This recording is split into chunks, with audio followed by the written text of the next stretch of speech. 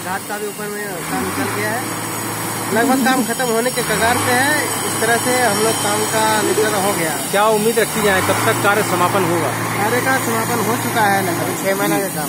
और लगभग लगभग दो तीन महीने। में बहुत ही कर्तव्य निष्ठा से और बहुत ही पराकाष्ठा से बहुत ही दिनों रात सेवा करके नित्य नियमित ये हमारे इंजीनियर और जितने भी कारीगर जो भी सुरक्षा प्रणालियाँ अपनी जान को जोखिम में डालते और बाबा विश्वनाथ बहुत ही विहंगम रूप को एक साक्षात प्रदर्शित करने के लिए यहाँ पर तत्पर होकर कार्य कर रहे हैं। बने रहिए जमे रहिए हमारे ब्लॉक में हमारे और- कंपनी ये जो कि Heritage Infra Space India Private Limited ये इस तरह से क्रेन और पोकलैंड वगैरह मशीनें जो लगी हैं बड़ी से बड़ी इसमें बहुत ही प्रतिष्ठित ऑपरेटर द्वारा काम किया जा रहा है काम में कहीं किसी प्रकार की टेक्निकल फॉल्ट ना है इसलिए बहुत ही प्रतिष्ठित इंजीनियर मजदूरों भी शहीद हो गया है।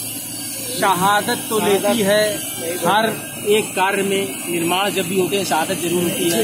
लेकिन हर शहादत को याद रखा जाएगा और सभी प्रकार से हम आज यहाँ अपने आप को बहुत प्रसन्नचित महसूस करते हैं। काशी की जनता में सम्मिलित हम अपने आप को बहुत गौरवान्वित महसूस करते हैं।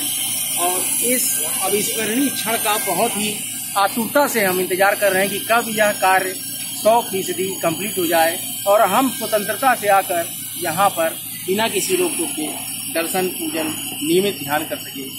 माता स्वर्णमयी माँ अन्नपूर्णा बाबा विश्वनाथ माँ गौरा माँ शीतला और महागंगा के अभूतपूर्व धाम काशी विश्वनाथ धाम में हम आप सभी का स्वागत करते हैं। हमारे चैनल कॉम ब्लॉग की वजह से तरफ़ से आप सभी को काशी विश्वनाथ धाम के कार्य समापन की महत्वपूर्ण शुभकामनाएँ। जय माँ गंगा। हर हर